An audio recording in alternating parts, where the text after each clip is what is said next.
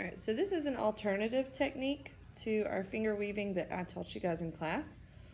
So make your slip knot, put it on your thumb, just like you did before, and wrap each of your four fingers. One, two, three, four.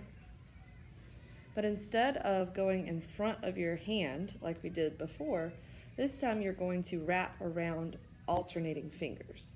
So you would go in front of your pinky, behind your ring, in front of your middle, behind your index, and then go the opposite way.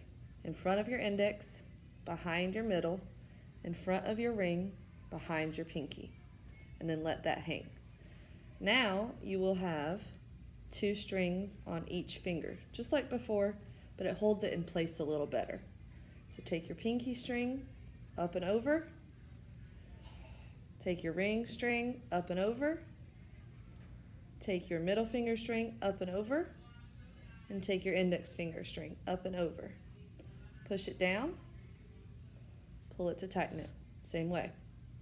In front of pinky, behind ring, in front of middle, behind index, in front of index, behind middle, in front of ring, behind pinky. Slide those down a little bit. Lift pinky, lift ring,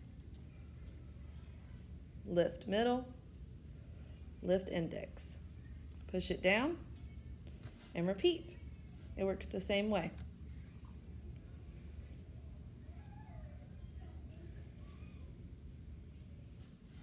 Two strings on each finger.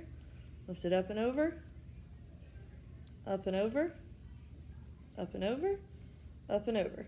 Slide it down. You can even take it off your thumb and pull it to check and make sure it's doing the right thing, which it is. Put it back on your thumb. Remember the string on your thumb is just a an anchor to keep everything in place.